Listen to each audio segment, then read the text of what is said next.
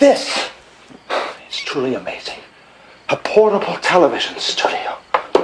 No wonder your president has to be an actor. He's got to look good on television.